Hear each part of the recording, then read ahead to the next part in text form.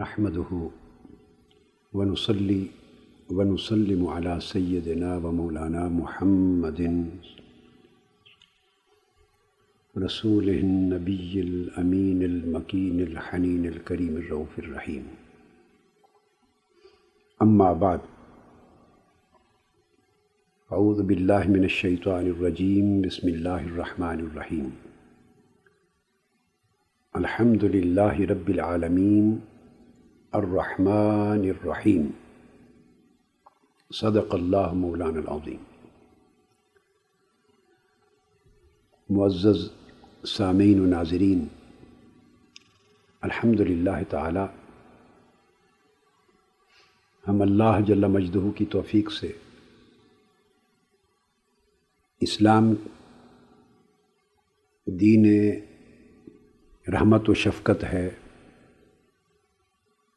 اور دین امن و محبت ہے۔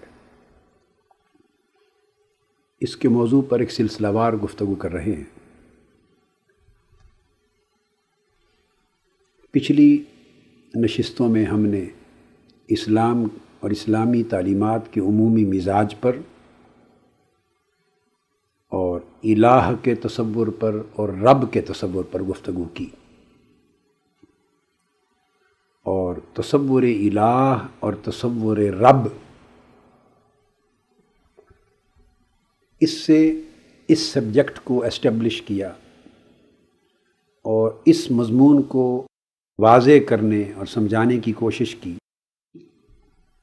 کہ تصور الہ میں بھی غالب عنصر رحمت کا ہے اور تصور رحمت میں بھی سراسر رحمت ہی کا عنصر موجود ہے۔ ہم نے لغوی اعتبار سے بھی الہ اور رب ان دونوں اصطلاحات پر بات کی اور قرآن آیات کریمہ کے حوالے سے بھی اس پر تفصیلی روشنی ڈالی۔ آج ہم اسی موضوع کو کہ اسلام دین رحمت ہے اور دین امن و محبت ہے۔ اسی موضوع کو سورہ فاتحہ کی جو دوسری آیا کریمہ ہے، الرحمن الرحیم، جہاں اللہ تبارک و تعالیٰ نے اپنے اسم ذات اللہ کے ساتھ، اپنی ذات ستودہ صفات کے اولی تعارف کے لیے جس ٹائٹل کو منتخب فرمایا، وہ رب العالمین رکھا۔ اور رب العالمین کہہ کر یہ بات واضح فرما دی کہ میں سارے جہانوں کا رب ہوں۔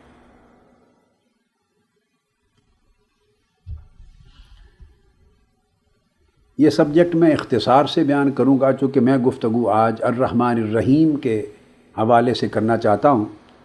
تو میں صرف ریفرنس دے دوں جو اباب یہ جو نقطہ میں بیان کر رہا ہوں۔ اب اس پر تفصیلی اسٹڈی کرنا چاہیں، اس کا مطالعہ کرنا چاہیں، بہت ساری جہتوں کے ساتھ۔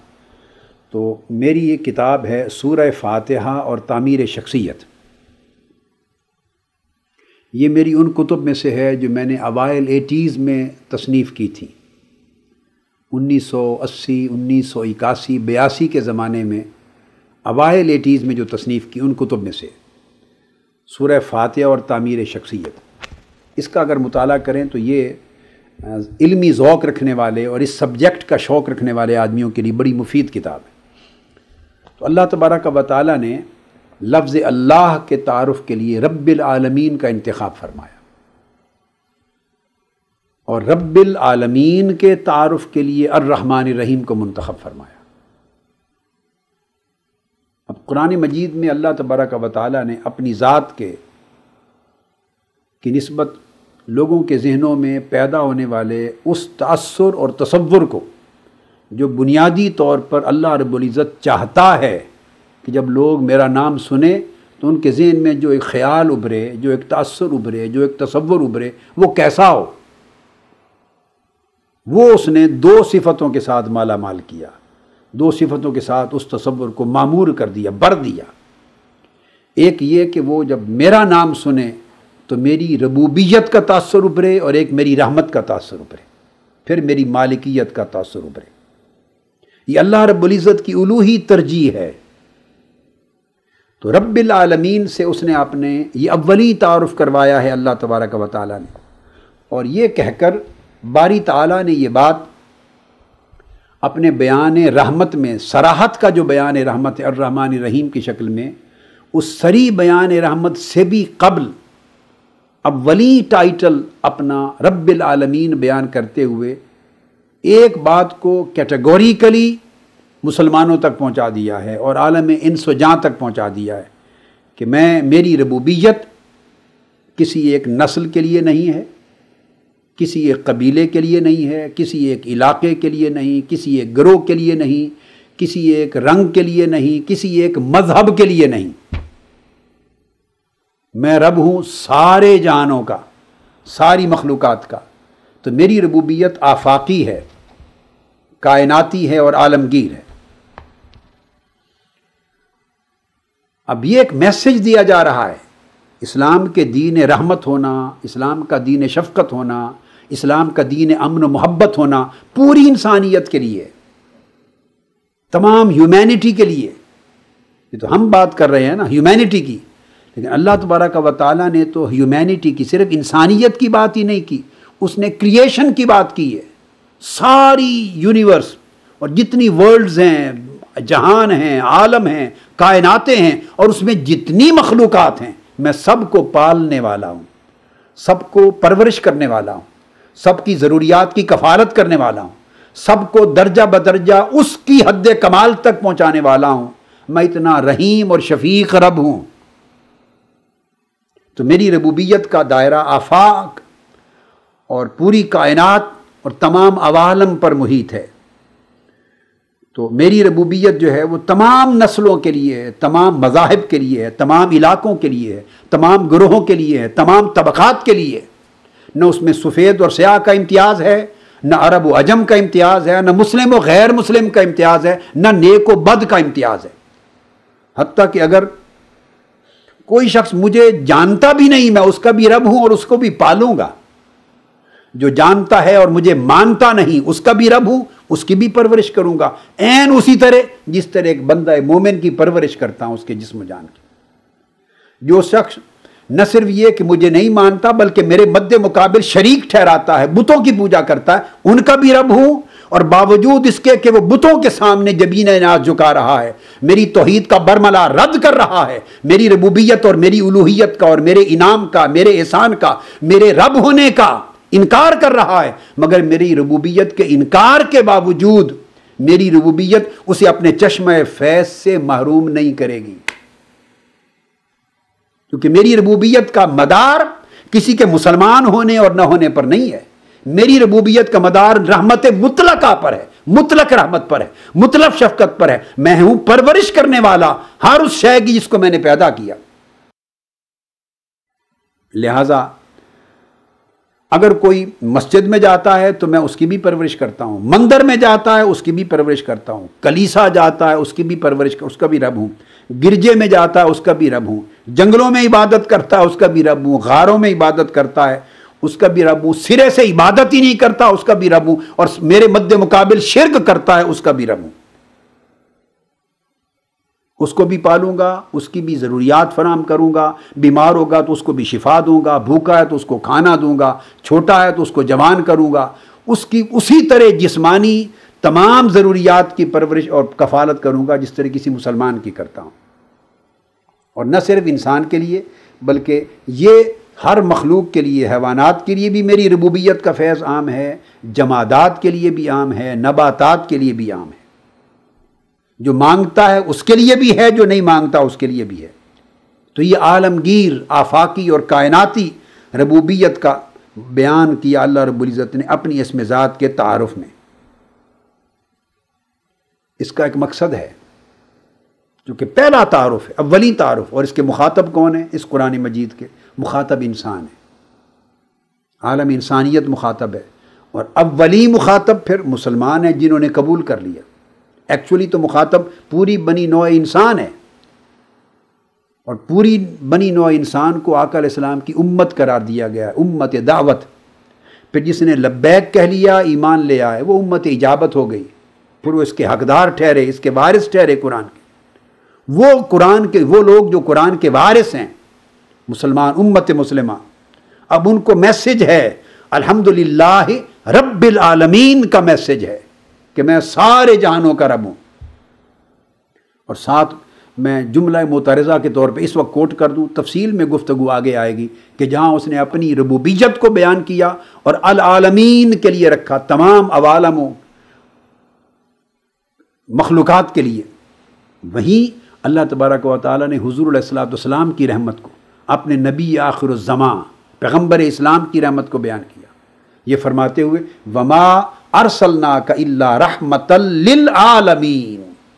اور ہم نے آپ کو نہیں بھیجا، مگر اس شان کے ساتھ کہ سارے جہانوں اور ساری کائناتوں اور جمی عوالم کے لیے سراسر رحمت بنا کر۔ تو خود فرمایا، میں تمام جہانوں کا رب ہوں اور اپنے محبوب صلی اللہ علیہ وسلم کے لیے فرمایا کہ وہ تمام جہانوں کے لیے رحمت ہے۔ تو گویا اپنی رحمت بھی العالمین کے لیے عام رکھی اور اپنے محبوب صلی اللہ علیہ وسلم کی رحمت و شفقت بھی العالمین کے لیے عام رکھی۔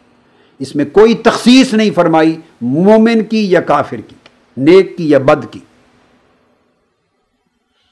میسج اس میں یہ ہے کہ اے میرے بندے، اگر تو حقیقت میں میرا بندہ ہے، حقیقت میں، اور میری بندگی تیرے قلب اور باطن میں، تیرے شعور میں، تیرے فکر میں، تیرے ذہن میں، تیرے عقیدے میں، پھر تیرے عمل میں، تیرے اخلاق میں، تیرے رہن سہن میں، وہ بندگی کا نور اتر گیا ہے اور تو اتارنا چاہتا ہے اور مجھ سے رشتہ بندگی کاملاً استوار کرنا چاہتا ہے۔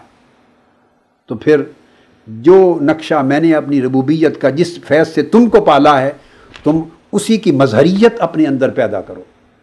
اسی کی شان اپنی سیرت میں، اپنی شخصیت میں، اپنی سوچ میں، اپنے عمل میں، اپنے مزاج میں، اپنی طبیعت میں کریٹ کرو۔ اور ذاتی وفاداریوں کے محدود و مفادات کے بتوں سے نکل جاؤ۔ علاقائی، گروہی، حتیٰ کہ مذہبی، نسلی، لسانی، سارے محدود طبقاتی اور گروہی وفاداریوں سے نکل کر جب میرا بندہ بننا ہے تو میرا بندہ وہ ہے جو جس کی رحمت، جس کی شفقت، جس کا چشمہ امن پوری کائنات کے لیے عام ہے، جیسے میری ربوبیت کا چشمہ عام ہے۔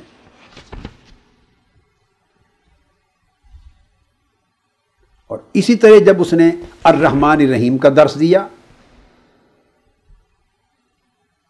پہلی صفت بیان کی، رحمت کی، تو صفت رحمت اور ربوبیت کو جوڑا، اپنی الوحیت الحمدللہ اپنی الوحیت کے بعد بیان کیا اپنی ربوبیت کا، دوسری چیز، اور ربوبیت کے بعد بیان کیا اپنی رحمت کا، الرحمن الرحیم۔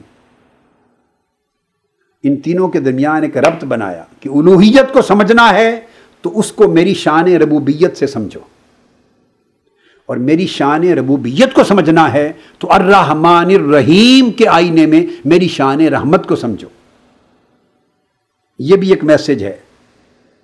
کہ اگر بندہ میری بارگاہ کے میرے چشمہ ربوبیت سے اور میرے چشمہ رحمت سے فیضیاب ہونا چاہتا ہے، تو پھر اس بندے کو چاہیے کہ وہ اپنا چہرہ اخلاق اور اپنا چہرہ کردار اس میں وہ حسن پیدا کر لے جو حسن اللہ رب العزت کے چشمہ ربوبیت سے عطا ہو رہا ہے۔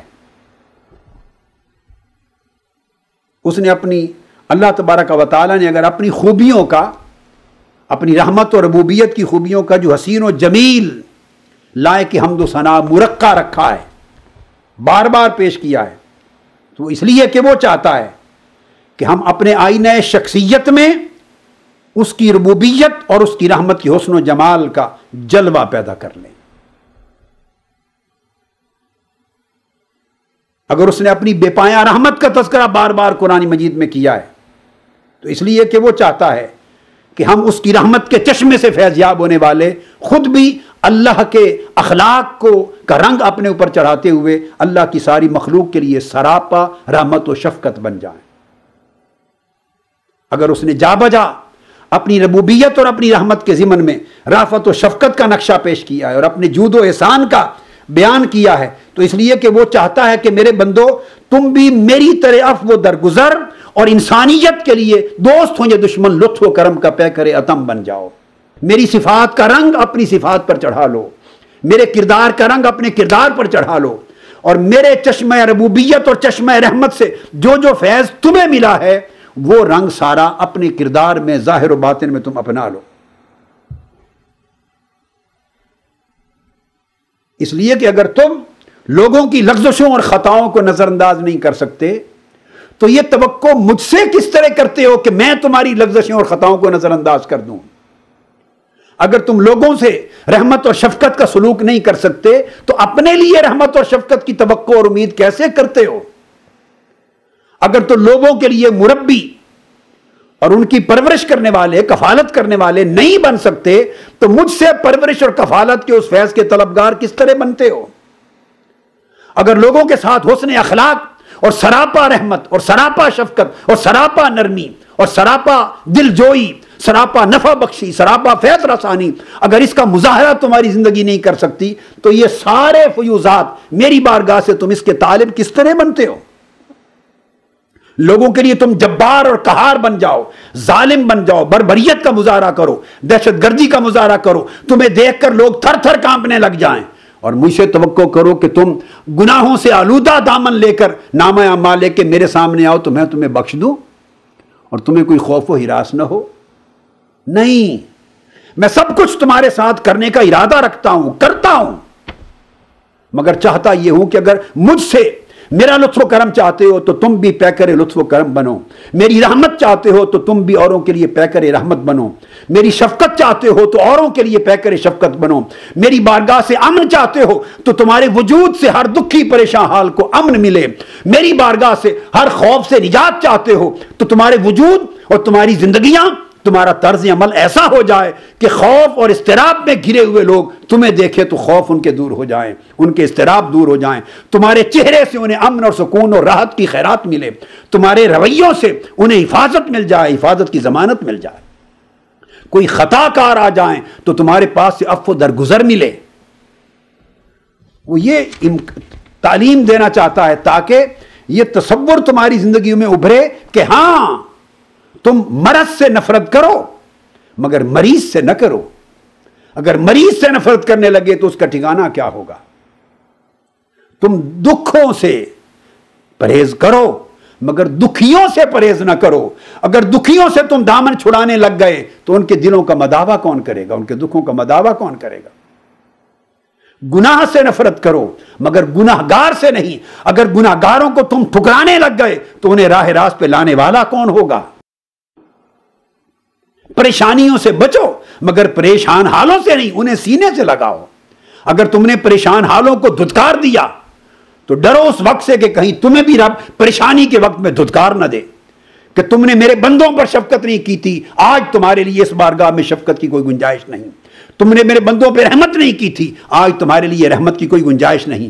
تم نے بخشا نہیں تھا، لوگ تم سے خوف و ہراس میں مبتلا ہوتے تھے۔ آپ مجھ سے تم امن اور سکون کی دولت کی خیرات کس طرح مانگتے ہو؟ یہ دراصل ایک میسج ہے، جس کو قرآن مجید کہتا ہے ول کاظمین الغیز ولافین الناس واللہ یحب المحسنین اللہ کے محبوب بندے وہ ہیں، متقی بندے وہ ہیں کہ جنہیں غصہ آئے تو ضبط کر جاتے ہیں۔ لوگ ان سے زیادتی کر لیں تو ان کی خطا کو معاف کر دیتے ہیں۔ یہی وجہ ہے۔ حضور علیہ السلام نے فرمایا، صحیح مسلم میں ہے کہ مجھے اللہ رب العزت فرماتے ہیں، مجھے اپنی جان کی قسم لوگوں اگر تم گناہ نہیں کرو گے اور گناہ کرنا چھوڑ دو گے اور زمین پر کوئی گناہ گار نہیں بچے گا، تو میں تم سب کو صف ہستی سے مٹا دوں گا۔ اور ایک ایسی قوم کو لاؤں گا جو بتقاضا بشریت خطا اور گناہ بھی کرے گی اور پھر توبہ کر کے مجھ سے معافی کی طلبگار بھی ہوگی۔ وہ معافی مانگیں گے، میں ان کو معاف کر دوں گا۔ اس لیے کہ رحمت الہی کو جو لطف اور جو مزہ گناہ گاروں کو توبہ کرنے پر معاف کرتے وقت آتا ہے، وہ عبادت گزاروں کے سجدوں میں نہیں آتا۔ اس لیے کہ وہ غفور الرحیم بھی تو ہے۔ نیکو کاروں کو سجدوں پر تو درجات بلند کرے گا، مگر وہ بخشن ہار ہے، بخشنے والا ہے۔ اس کو بخشنے پر جو لطف آتا ہے، اس کی رحمت کو، وہ درجات کو بلند کرنے پر وہ لطف نہیں آتا۔ پھر یہ فرمایا گیا کہ انکسار العاسین احب اللہ من سہولت المتعین کہ اللہ تبارک و تعالی نیکو کاروں کی جو تمکنت ہے، ان کا جو اعتماد اور بھروسہ اور تمکنت ہے اطاعت گزاروں نیکو کاروں پرہیزگاروں کی تمکنت سے کہیں زیادہ اللہ کو گناہ گاروں کا عجز و نیاز محبوب ہے۔ گناہ گار جب گناہ کرتے ہیں تو کبھی تمکنت نہیں ہوتی ان میں۔ بھروسہ نہیں ہوتا، شکستہ دل ہوتے ہیں، مایوس ہوتے ہیں، دکھی ہوتے ہیں، آجزی انکساری کرتے ہیں۔ اللہ رب نے فرمایا، مجھے گناہ گاروں کی آجزی اور انکساری عزیز تر ہے نیکوکاروں کی تمکنت سے۔ اس لیے فرمایا، تائب من الذنب کم اللہ ذنب لہو۔ گناہ سے توبہ کرنے والا اس طرح ہو جاتا ہے جس طرح اس نے کوئی گناہ کیا ہی نہیں تھا۔ یہ میں نے اختصار سے کچھ دیا، آپ کو میں نے عرض کر دیا، سورہ فاتح اور تعمیر شخصیت، یہ میری کتاب ہے۔ اس میں بڑی تفصیل کے ساتھ اس سبجیکٹ کو میں نے ایلیبوریٹ کیا ہے۔ عرض کرنے کا مقصد یہ تھا کہ اللہ تبارک و تعالیٰ نے اپنا ذکر کیا الحمد للہ سے، اللہ کے لفظ اس میں ذات تھا۔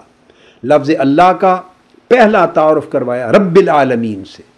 کہ وہ تمام جہانوں کا رب ہے، ربوبیت کے ساتھ۔ الوحیت کی شناسائی کروائی اپنی ربوبیت کے ذریعے۔ اور ربوبیت کی شناسائی کروائی الرحمن الرحیم اپنی رحمت کے ذریعے۔ تو اللہ کی الوحیت کو سمجھنا اور دیکھنا ہو تو اس کی ربوبیت کے آئینے میں دیکھو۔ اور اللہ رب العزت کی شان ربوبیت کو دیکھنا ہو تو اس کی وسعت رحمت کو دیکھو، رحمانیت اور رحیمیت کے آئینے میں دیکھو۔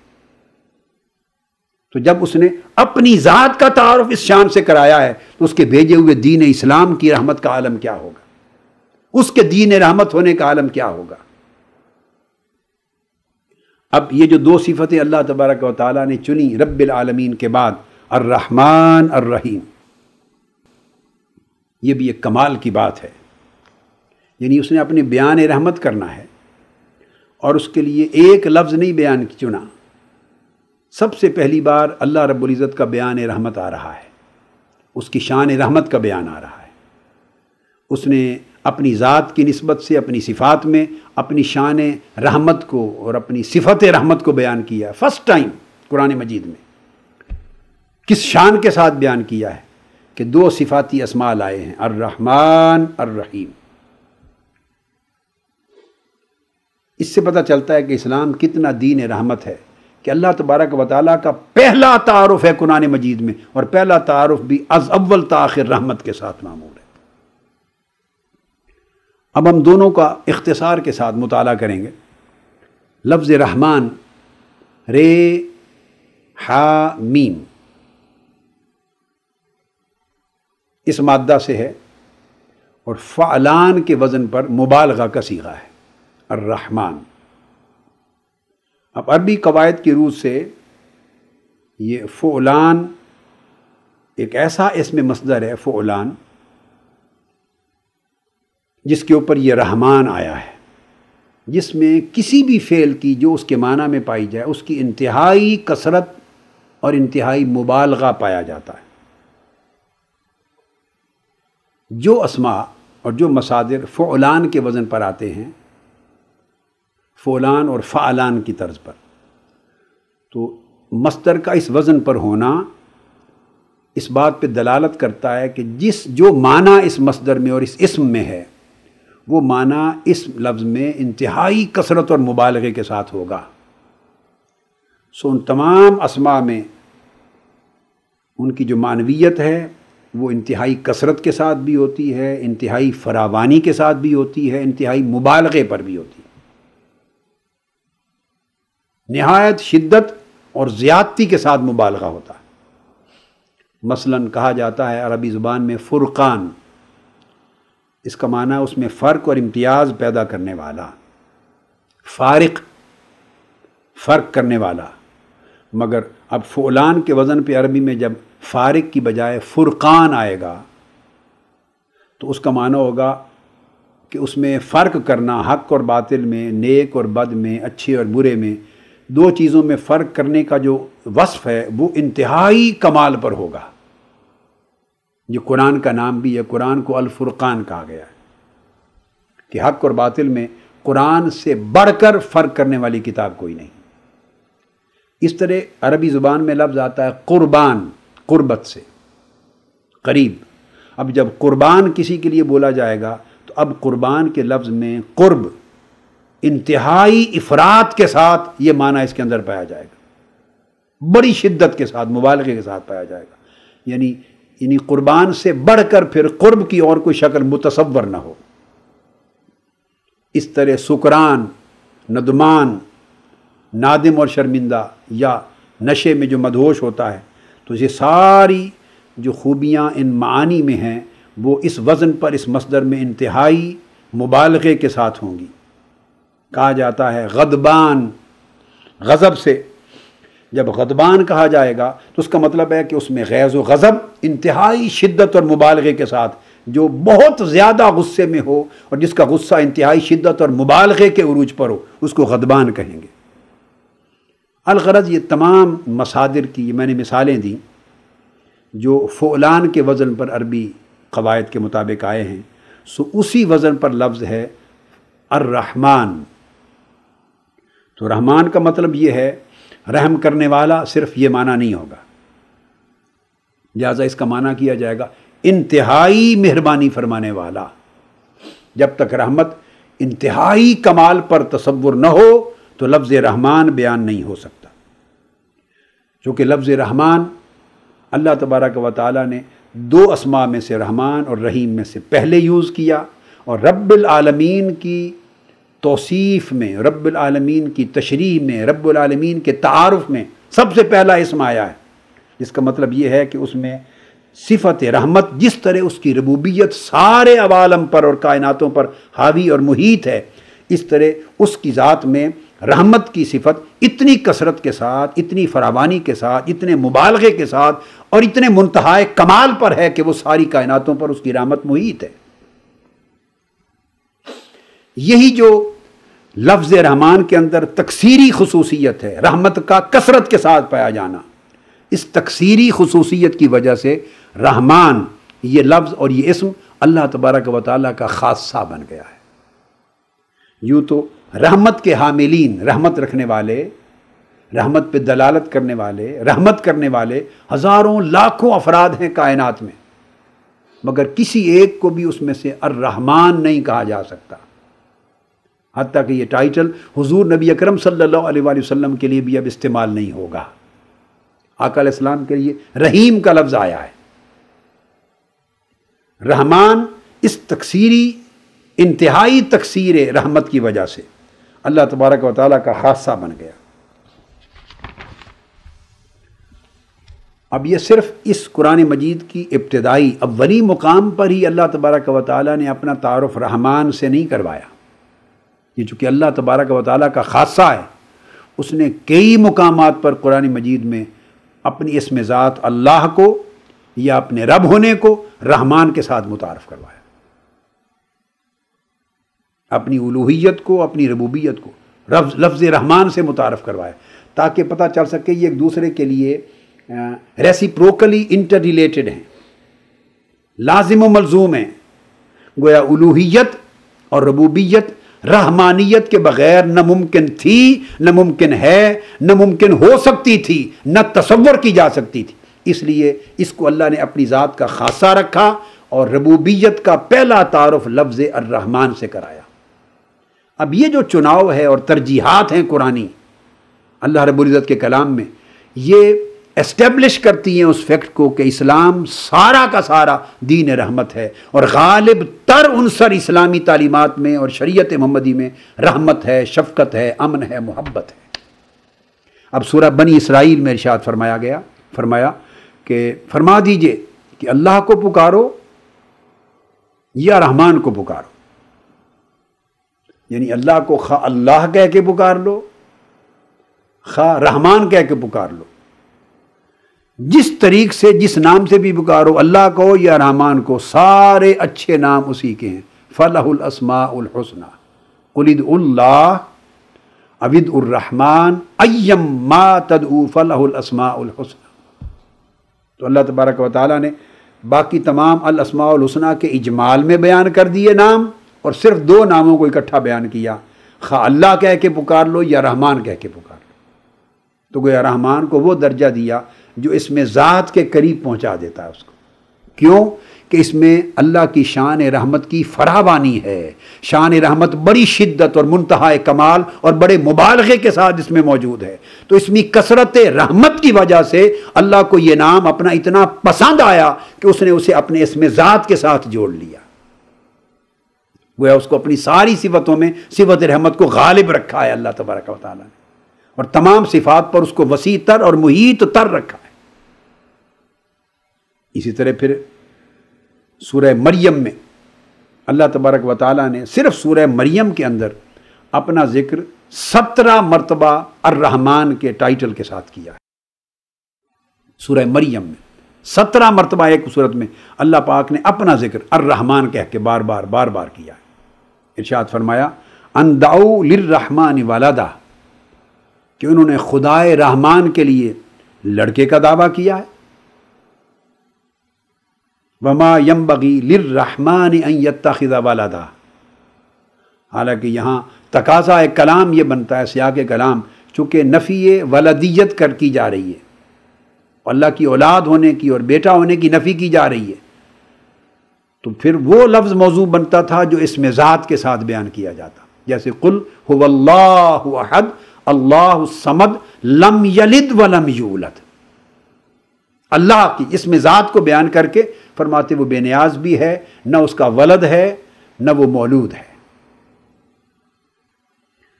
چونکہ توحید کا بیان تھا، تو قرین قیاس یہ تھا کہ اس میں ذات کہہ کر بیان توحید ہوتا۔ مگر اب رحمان میں چونکہ کثرت رحمت، مبالغہ رحمت اور فراوانی رحمت ہے، اس شان کی وجہ سے اللہ نے اپنے اس نام کو اتنا عزیز رکھا ہے، اپنے اس میں ذات کی جگہ اس کے قائم مقام بنایا۔ ہے تو لفظ اللہ کہنے کی بجائے فرما انداؤ الرحمان والدہ یہ نہیں کہا کہ کیا وہ اللہ کے لیے بیٹا ہونے کا دعویٰ کرتے ہیں؟ یوں نہیں کہا، فرمایا، کیا وہ رحمان کے لیے لڑکا ہونے کا دعویٰ کرتے گویا رحمان کو قائم مقام بیان کیا جا رہا ہے اللہ کے لیے۔ پھر فرمایا، وما یم بغی لر رحمان والدہ اور یہ رحمان کے شایان شان نہیں ہے کہ وہ کسی کو اپنا لڑکا بنائے۔ اب سیاہ کے کلام تو یہ بنتا تھا کہ اللہ کی شایان شان نہیں یا الہ کے شایان شان نہیں کہ وہ کسی کو بیٹا بنائے یا اس کی کوئی اولاد ہو۔ مگر اللہ کہہ کر جو بات کرنا مقصود تھی، اس کو اللہ رب العزت لفظ رحمان کے ذریعے ادا فرما رہا ہے۔ اور پھر فرمایا، اپنی معبودیت کا، یہاں تک الوحیت کا بیان تھا، شان رحمانیت کے ساتھ۔ اب اپنی معبودیت کا، معبود ہونے کا بیان ہے، پھر شان رحمانیت کے ساتھ۔ فرمایا، ان کل منفی السماوات والارض الا آت الرحمن ابدا زمین اور آسمان میں جو مخلوق بھی آباد ہیں، خواہ فرشتے ہوں، جن ہوں، انسان ہوں، وہ اللہ کے حضور محض بندہ کے طور پر رحمان کے حضور حاضر ہوں گے۔ تو یہاں بھی لفظ اللہ نہیں فرمایا اللہ آت اللہ ابدا نہیں کہا۔ اللہ کے حضور بندہ کے طور پہ نازر ہوں گے، نہیں اللہ آت الرحمان ابدا وہ رحمان کے حضور محض بندہ کے طور پہ حاضر ہوں گے۔ تو اس کو کس لیے چنا؟ سوال سوال تو یہ پیدا ہوتا ہے۔ خالق کے لفظ کو نہیں چنا، بارے کے لفظ کو نہیں چنا، مالک کو نہیں چنا، قادر کو نہیں چنا، علیم و خبی کو نہیں چنا، حی و قیوم کو نہیں چنا۔ اللہ رب العزت کی بے شمار صفات ہیں۔ معبود کو نہیں چنا۔ اللہ رب العزت نے اس میں الرحمن کو چنا۔ اپنے لفظ اللہ اس میں ذات کے قائم مقام کے طور پر، اپنی الوحیت کے بیان کے لیے، اپنی ربوبیت کے بیان کے لیے اور اپنی معبودیت کے بیان کے لیے۔ اس لیے چنا، وہ بتانا چاہتا ہے کہ یہ اگر لفظ اللہ کے بعد کوئی اور لفظ میرا نام لینا ہو تو الرحمن سب سے اعلیٰ، حقدار ہے، انصب ہے۔ اس کو لو۔ اس لیے فرمایا، قلد اللہ ابد الرحمان چاہو تو اللہ کہہ کر مجھے پکار لو۔ چاہے رحمان کہہ کے پکار لو، ایک جیسی بات۔ ہے یہ وہ بات کی جا رہی ہے۔ اور کیوں چنا؟ اس لیے اس میں اور تو کوئی سبب نہیں ہے۔ رحمان سراپا مبالغ رحمت پر قائم ہے، فراوانی رحمت پر قائم ہے، اور کثرت اور انتہائی رحمت کی کی کثرت پر قائم ہے۔ اس وجہ سے اس لفظ کو پیار سے اللہ پاک نے اپنے اس میں ذات کے ساتھ قائم مقام بنایا۔ سو صاحب ظاہر ہے، یہی عکاسی اس کے دین اسلام میں ہونی چاہیے۔ پھر سورہ تاہا میں ارشاد فرمایا گیا وہی نرب کمر رحمان فتبی و عتی امری فرمایا، اور بے شک تمہارا رب رحمان ہے۔ بے شک تمہارا رب تو فقط رحمان ہی ہے، رحمان ہی تمہارا رب ہے۔ بس میری اتباع کرو اور میرے حق ہوں، ہر حکم کی اطاعت کرو۔ اللہ کا پیغمبر، اللہ کا رسول فرما رہا ہے۔ لوگوں تمہارا رب رحمان ہے۔ سو میں اس کا بھیجا ہوا ہوں۔ لہذا میری اتباع کرو، پیروی کرو اور میرے ہر حکم کی تعمیل اور اطاعت کرو۔ تو یہاں بھی ان ربا کم الرحمان یہ فرمایا، ان ربا کم اللہ نہیں کہا۔ تمہارا رب رحمان ہے۔ تو اللہ تبارک و تعالیٰ نے اپنی صفت رحمت کے بیان کو انتہائی مبالغہ کے معنی رکھنے والے اسم کے ساتھ یعنی الرحمان کے ساتھ اپنی ذات کے اسم کے لیے قائم مقام بنا دیا۔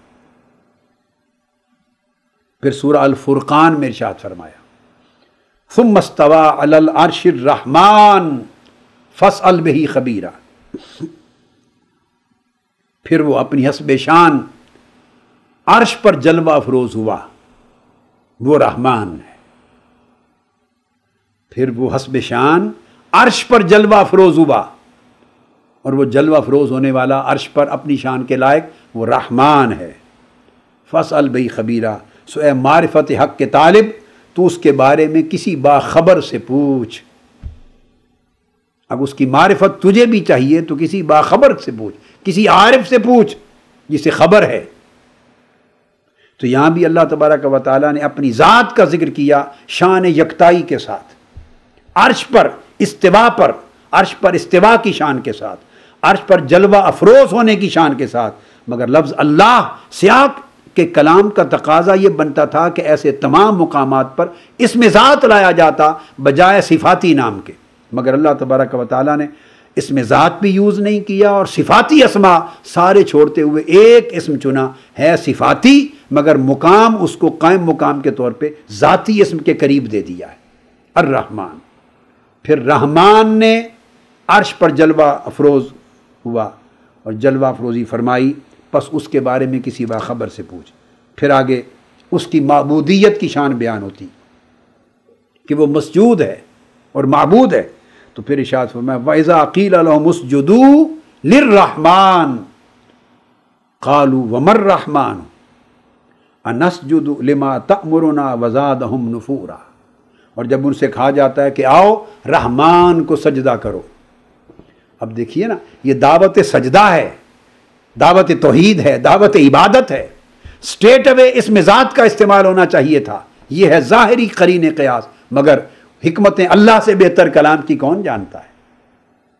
تو گویا اس نے الرحمان کو، جو فراوانی رحمت کا آئینہ دار نام ہے اللہ کا، کثرت انتہائی کثرت رحمت کا عکاس ہے جو نام اللہ تبارک و تعالیٰ کا الرحمان اس کو ہر اس مقام پر جہاں لفظ اللہ کا بیان کرنا مناسب تھا، اس کو اللہ رب العزت نے لفظ رحمان کو بیان کرنا مناسب سمجھا، قائم مقام بنا دیا، اس کا بدل بنا دیا۔ جب انہیں کہا جاتا ہے کہ سجدہ کرو، اللہ کو نہیں کہا، سجدہ کرو رحمان کو۔ تو وہ پوچھتے ہیں، رحمان کون ہے؟ کیا ہم منکرین کہتے ہیں کہ کیا ہم اسی کو سجدہ کرنے لگ جائیں جس کا آپ ہمیں حکم دیں۔ پھر سورہ زخرف میں دوبارہ شان الوحیت کا بیان۔ اور اس کا بیان پھر لفظ اللہ سے نہیں، لفظ رحمان سے ہے۔ فرمایا، جعلنا من دون الرحمن آلہتن یعبدون۔ کیا ہم نے رحمان کے سوا کچھ اور خدا بھی ٹھہرائے تھے جن کی عبادت کی جائے؟ اب دیکھیے نا سیاق کلام، ظاہراً اس بات کا مقتضی ہے کہ یا من دون اللہ کہا جاتا کہ کیا اللہ کے سوا کوئی ہم نے اور الہ اور معبود بھی بنائے تھے جن کی عبادت کی جائے؟ مگر نہیں، اللہ تبارک و تعالیٰ نے اس کو انصب جانا مناسب ترین جانا کہ جہاں لفظ اللہ کہہ کر بات کرنا ضروری تھی، وہ مدعا لفظ رحمان سے پورا ہوتا ہے۔ چونکہ رحمان میری فراوانی رحمت کی شان کا حامل، وہ اسم ہے جو ساری صفتوں پر غالب ہے میری رحمت۔ اور وہ میری ذات کے قریب ہے، چونکہ میں نے اپنی ذات پر اپنی اپنی رحمت کی شان کے لائق اور اپنے ذمہ کرم پر اپنی ذات پر رحمت کرنے کو واجب کر رکھا ہے۔ رحمت کرنا لوگوں پر رحمت کرنا اپنے اوپر لازم کر رکھا ہے یعنی اپنے ذمہ کرم پر کر رکھا ہے۔ اس نے خود اپنے اختیار سے اور اپنے لطف و کرم سے یہ اڈاپٹ کر رکھا ہے کہ وہ ہر ایک پر رحمت کرے۔ تو ہم نے رحمت کو اپنے ذمہ کرم پر واجب کر رکھا ہے۔ کسی اور صفت کو نہیں کہا۔ صرف ایک صفت چنی۔ تو رحمت کو اتنا مقدم جانا گیا ہے تمام صفات میں۔ یہی وجہ ہے کہ سورہ فاتحہ میں اولی تعارف جب الوحیت کا کیا، ربوبیت عامہ، ربوبیت مطلقہ اور ربوبیت دائمہ کے ساتھ، تو اس ربوبیت کاملہ کا تعارف کروایا اس کی شان رحمت کے ساتھ، الرحمن الرحیم۔ تو الوحیت ربوبیت اور رحمت، رحمانیت اور رحیمیت، یہ ساری آپس میں انٹر ریلیٹڈ ہیں انڈسپینسیبل ہیں، مضمون مکمل نہیں ہو سکتا۔ تصور الوحیت کا اور نہ مکمل ہو سکتا ہے تصور ربوبیت کا جب تک دونوں تصورات پر شان رحمت کو غالب اور محیط تصور نہ کیا جائے۔ تو اللہ رب العزت بتانا یہ چاہتے ہیں کہ اللہ وہ اللہ ہے جو رحمان و رحیم ہے۔ رب وہ رب ہے جو رحمان و رحیم ہے۔ الہ معبود وہ معبود ہے جو رحمان رحیم ہے۔ اس کے بعد اگلی صفت آ گئی ہے رحیم۔ تو جیسا کہ میں نے عرض کیا الرحمان فعلان کے وزن پر مبالغے کا سیغہ تھا۔ اس طرح الرحیم، اس کا معنی بھی بہت رحم فرمانے والا اور ہمیشہ رحم فرمانے والا ہے۔ اب یہ رحمت سے فعیل ان کے وزن پر اسم فائل ہے۔ اس میں بھی مانوی مبالغہ کی صفت پائی جاتی ہے۔ مگر یہ کہ الرحیم صفت مشبہ بھی ہے۔ اسے میں صفت رحمت کے اعتبار سے مشبہ ہونے کی باعث ہمیشگی پائی جائے گی، دوام پایا جائے گا، استمرار پایا جائے گا۔ کنٹینیوٹی پائی جائے گی پرپیچوٹی پرپیچوٹی پائی جائے گی۔ تو الرحیم جو ہے، اصطلاحی اعتبار سے الرحمان کے مقابلے میں عام ہے۔ اب ارشاد فرمایا، اللہ تبارک و تعالیٰ نے ان نحو طواب الرحیم۔ کہ بے شک وہ طواب بھی ہے، رحیم بھی ہے۔ اب اس نے جیسے جگہ جگہ رحمان کو چنا، تو زیادہ تر رحیم کو بخشش اور مغفرت کے ساتھ خاص کیا گیا ہے۔ بخشش و مغفرت کے ساتھ خاص کیا گیا اس کو۔ رحمان عام تھا ہر ایک کے لیے، رحمت کی ساری شور صورتوں کو شامل تھا۔ رحیم خاص کر دیا گیا۔ اللہ پاک نے ہر جگہ ان و طواب الرحیم، یقیناً وہ بڑا ہی توبہ قبول کرنے والا اور رحیم، بڑا رحمت فرمانے والا۔ ہے پھر فرمایا، ان اللہ بنا سے لرعوف الرحیم. یہاں پھر رعوف اور اس کے ساتھ رحیم کو بڑا رحمت فرمانے والا۔ الا یرجون رحمت اللہ، واللہ غفور الرحیم۔ یہی لوگ اللہ کی رحمت کے امیدوار ہیں۔ اللہ بڑا بخشنے والا اور بڑا مہربان ہے۔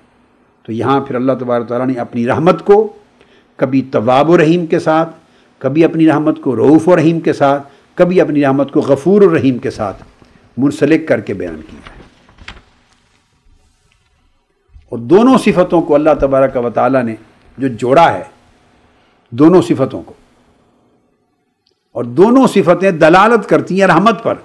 یہ نہیں ہے کہ ایک صفت علم پر دلالت کر رہی تھی تو ایک کلام پر دلالت، ملتی جلتی کر دی۔ ایک ارادے پر دلالت کر رہی تھی تو ایک قدرت پہ دلالت کر رہی ہو۔ ایک جود و سخا پہ دلالت کر رہی تھی، دوسری عطا اور غنا پہ دلالت کر رہی ہو۔ ایک ملک اور حکمرانی پہ دلالت کر رہی تھی، دوسری مدد اور اعانت پہ دلالت کر رہی ہو۔ ایک عدل اور انتقام پہ دلالت کر رہی تھی، دوسری فضل اور احسان پہ دلالت کر رہی ہو۔ اس طرح نہیں کہ دو مختلف المعنی صفتوں کو اکٹھا جمع کر کے ایک جامع مضمون بنا دیا جائے۔ ایسا نہیں کیا اس رب کائنات نے۔ حالانکہ سورہ فاتحہ میں اس نے اپنی الوحیت بیان کی الحمد کہہ کر، ربوبیت بیان کی، رب العالمین کہہ کر۔ اور رحمان الرحیم میں پہلی صفت اور پہلا وصف اللہ پاک نے رحمت کا بیان کیا اور رحمت دو شکلوں میں ایک غایت رحمت یعنی مبالغہ اور کثرت کی انتہا ہو جائے رحمت کی، اور دوسری رحمت کا تسلسل اور دوام رہے کبھی منقطع نہ ہونے پائے۔ اس رحمت کو بیان کیا اور باقی ساری صفتوں کو مؤخر رکھا۔ وہ مالک بھی ہے، وہ معبود بھی ہے اور ساری بات تو اس کی توحید پر ہے کہ وہ عبادت کے مستحق اور لائق تنہا وہ ایک ذات ہے، مگر اس کو اللہ رب العزت نے چوتھے پانچویں نمبر پہ بیان کیا۔ پھر اس کی مستعانیت کا تذکرہ آیا۔ وہ مدد کرنے والا ہے۔ پھر ایک دن سراط المستقیم وہ ہدایت دینے والا ہے۔ پھر سراط الزین انمت علیہ وہ انعام فرمانے والا ہے۔ پھر غیر المغدوب علیہ وہ غضب ناک ہونے والا بھی ہے۔ وردوالین آمین اور جو گمراہی کو چاہتے ہیں انہیں گمراہی کے راستوں پر ڈالنے والا بھی ہے۔ یہ سزا ہے اس کی، یہ اس کا انتقام ہے، وہ اس کی عطا ہے اور اس کا احسان ہے اور انعام ہے۔ ساری صفتیں بیان کی ہیں۔ جامع اس صفات صورت سورہ فاتحہ۔ مگر ان میں سب سے پہلے الوحیت اور ربوبیت کا تعارف کروانے کے لیے اللہ رب العزت نے صفت رحمت کو چنا ہے۔ اور رحمت کو اپنی مالکیت پر بھی مقدم رکھا، اپنی معبودیت پر بھی مقدم رکھا، اپنی مستعانیت پر مدد اور اعانت کرنے کی صفت پر بھی مقدم رکھا، اپنی ہدایت دینے کی صفت پر بھی مقدم رکھا، اپنے انعام فرمانے کی صفت پر بھی مقدم رکھا اور غضب اور گمراہی والی جو لوگوں کے احوال بیان کیے، ان صفات پر بھی مقدم رکھا۔ اور دونوں صفتیں، ایک صفت رحمت کو چنا اور صفت رحمت کے لیے دو اسما چنے۔ ایک رحمان فعلان کے وزن پر، ایک رحیم صفت مشبہ فعیل کے وزن پر۔ اور دو اسما چنے اور دونوں اسما میں مبالغہ صفت، رحمت ہے۔ دونوں میں انتہائی رحمت ہے۔ دونوں میں کثرت رحمت ہے۔ مگر ایک کی کثرت منتہا کمال پر جاتی ہے، ایک کی کثرت ہمیشگی اور دوام پر جاتی ہے۔ کہ وہ رحمت والا رب ہے جس رحمت سے بڑھ کر کسی رحمت کا تصور بھی نہیں ہو سکتا۔ اور اس رحمت والا رب ہے جو رحمت ساری اول تا آخر وہ کرتا رہے، کائنات ختم ہو جائے گی، مگر اس رحمت کا سلسلہ کبھی بند نہیں ہو جا ہو سکتا۔ اس کی رحمت نہ ختم اور منقطع ہونے والی ہے، اور اس کی رحمت نہ کبھی راستے میں رک جانے والی ہے۔ کمال بھی، آخری کمال بھی اسی کی رحمت کو ہے، یہ شان۔ اور ہمیش کی اور دوام کی شان بھی اللہ کی رحمت کو ہے۔ تو دو اسما جمع کر کے اللہ تبارک و تعالیٰ نے اپنی شان رحمت کو بیان کیا۔ جس سے یہ پتہ چل سکے، یہ میسج دیا جا سکے، یہ کنسیپٹ ڈیلیور کیا جا سکے، یہ امیج جو ہے اس کی ربوبیت کی شان کی، اس کو کمیونیکیٹ کیا جا سکے لوگوں تک کہ دین اسلام جس اللہ نے بھیجا ہے، وہ اللہ کی ساری صفتوں پر اس نے اپنی صفت رحمت کو غالب اور محیط بنایا ہے۔ اور اس نے اس رحمت کو اپنے ذمہ کرم پر واجب بنایا ہے۔ اور ساری صفتوں پر اس سمت کو وسیع اور غالب بنایا ہے۔ لہذا دین اسلام اپنی تمام تر خوبیوں کے باوجود اس کے اوپر غالب تر اور محیط تر جو صفت ہوگی وہ صفت رحمت ہوگی اس لیے بجا طور پہ جب دین اسلام کی تعریف کی جائے گی تو کہا جائے گا یہ دین اسلام دین رحمت ہے دین شفقت ہے دین امن ہے دین محبت ہے دین عدل ہے دین احسان ہے دین انعام ہے دین لطف ہے دین کرم ہے دین عطا ہے دین سخا ہے خیر کا اور بلائی کا دین ہے رحمت کا اور خیر خواہی کا دین ہے۔ یہ وہ تصور ہے جو اللہ کے تصور الہ سے اور اللہ رب العزت کے بیان کردہ تصور رب سے نکلا ہے۔ رحمان و رحیم کی شکل میں۔ اب اس کے کچھ گوشے انشاء اللہ تعالیٰ باقی ہیں۔ اسی کنسیپٹ کے جس کو ہم اگلی نشست میں بیان کریں گے۔ اور اس کے بعد پھر قرآن مجید کے عمومی ترتیب کے ساتھ اس سبجیکٹ کے مطالعے کے حوالے سے چل پڑیں گے۔ وما علینا البلاغ۔ Salam alaikum, ya Rasul, salam alaikum.